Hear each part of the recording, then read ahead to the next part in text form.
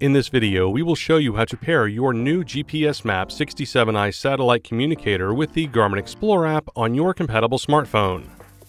We will be using an Apple iPhone with our InReach subscription already activated through the Messenger app. To learn more on how to activate your device, see the video in the description below. Pairing your GPSMAP 67i with the Garmin Explore app allows for downloading mapping to your mobile device, trip planning, sending a course to your device, organizing your saved data, and much more. Cloud storage is also available with a cellular or Wi Fi connection. The Explore app will need to be downloaded from the Play Store or Apple App Store.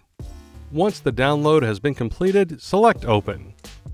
Now sign in with the same account credentials you used to activate your device. Then review and agree to the end user license agreement, followed by Next. Enter your account credentials, then select Next. Select your country, then select Done. To allow for your device and account data to be backed up, select Enable Cloud Storage. If data backup isn't needed, select Not Now. Then select your GPSMAP 67i from the device list. To begin pairing your device with the Explore app, select Start.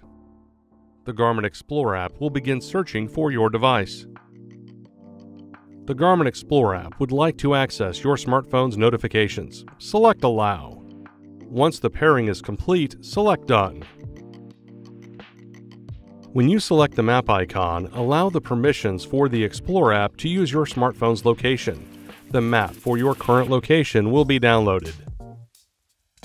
And that's it. Thanks for watching. For more help with the Garmin Explore app, visit support.garmin.com.